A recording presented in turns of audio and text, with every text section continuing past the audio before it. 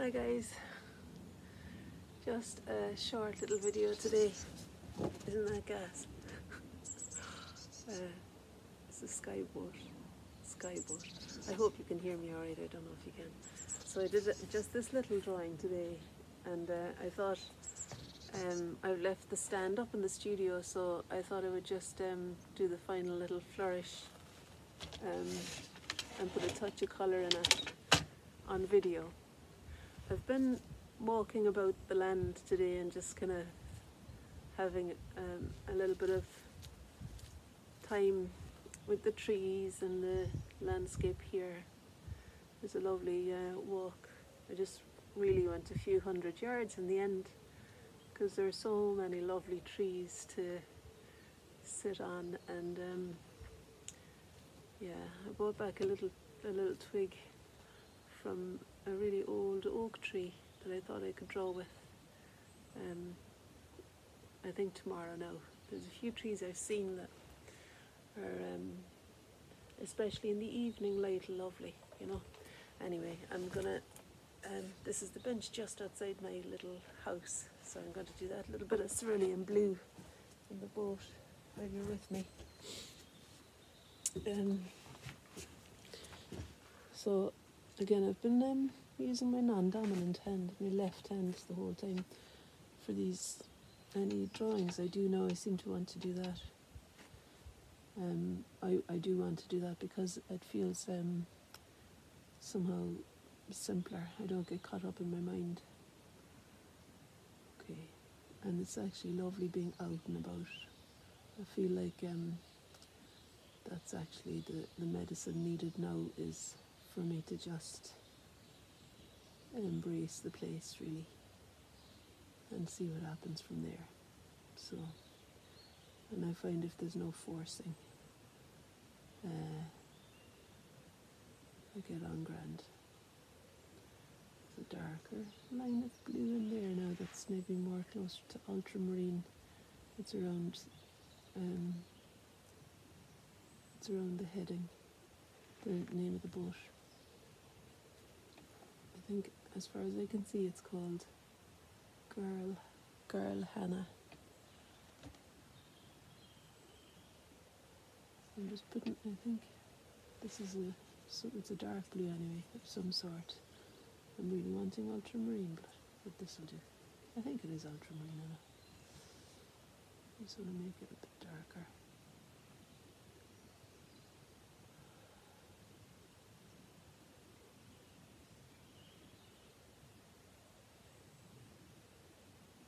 And then um, my plan is to go and um, sit in the summer house over there with my hot water bottle. There's a lovely turquoise summer house. Might actually draw that another time. Um, over there behind me. You know, I'm getting a bit trigger happy now that I've started, and I feel like I want to um, put a, a little bit of burnt sienna or something in the bottom of the boat there. I was, I was kind of um, um, inspired to do a little drawing because I felt like the tree there wants to kind of check out the boat. It's kind of wondering what the hell are you doing up here, like I would imagine. I don't know. So I, I kind of moved it a bit closer by mistake first, but then I thought, oh, he probably does want to get closer and say, you know, what's going on? I don't know. But it's a lovely thing to have um, something that feels um, you know, fresh, inspiring, out of place, somehow out of place, to just disturb that, um, the complacency that we can sometimes fall into. I can see it's framed nicely out my, my um, kitchen window, so I might be doing a few of these boat paintings. Would have thought I'd be painting boats down here?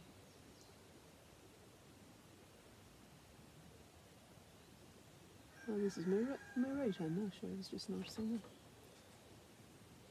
Seemed to be fine, trusted enough with colour. You can hear all the farm animals, it's another thing. Really love drawing and painting farm animals. Well, chickens and roosters and all that kind of thing. And I actually thought that um, the stuff that I found today, I was thinking, you know, what does that remind you of? Like, it reminds me of a rooster's tail.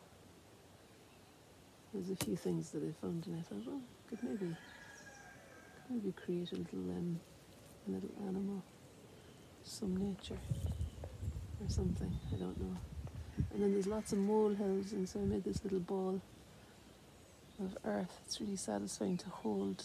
I've made a few of them. They're in trees down there, and this one I just stuck the feather in to keep the grass together, wrapped around it. But the ones in the trees are just soil alone. I don't know.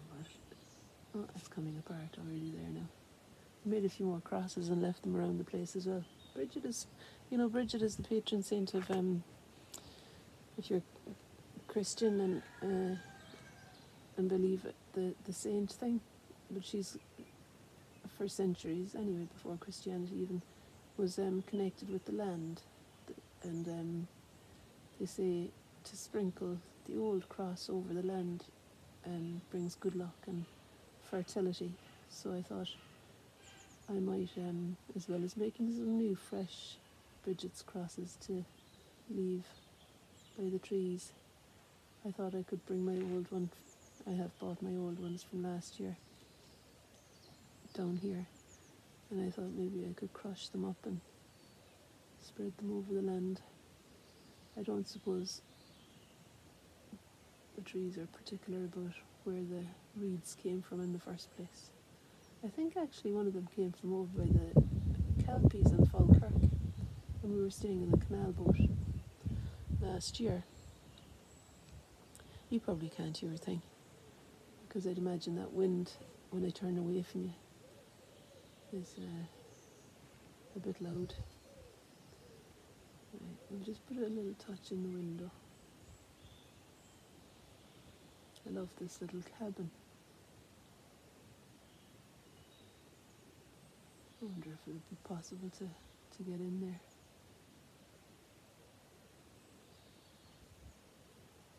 There's a gorgeous moon over there, over the boat last night through the kitchen window. I saw that too. I'll just deepen the tone of that plank there, and that one going back in the distance. So, you know, this is um, this feels good. Like I felt yesterday, I was drawing those tulips in the little vase that I made, you know, and I was feeling a little bit like I was kind of trying hard, and uh, had a few words with myself today about that. Again, sorry. sorry if you can't hear anything. And I'm not saying anything very uh, groundbreaking, but um, there we have it. I think I'm going to stop there now and um, we'll see what happens tomorrow. As I say, um, oh, sorry. As I say, I've been down there. There's some amazing, um, like this doesn't do it justice at all, no, of course. But there's amazing swathes of um, snowdrops. The sun setting over there. That's the turquoise shed and um, and there's some lovely little dells down there with um, snowdrops in them. That tree has a nice swathe of snowdrops in front of it. I was going to go down there and then it caught, the, the boat caught my eye and I thought, look, I'll just sit here and do a drawing of the boat and maybe tomorrow I can uh, go further afield. We'll see. It's happening anyway, there's movement occurring you know, and I feel a lot brighter in myself today having spent this most most of the afternoon, all the afternoon outdoors actually. Yeah. So all the best. Good to see you again. And there, I'm going back in there now and I'm going to have myself a nice cup of coffee. About half the library. That was just to hold, to hold up the um, that was now to hold up um, my iPad but there's another there's another load of them inside. I just thought you'd never know. Anyway, lots of love. Bye.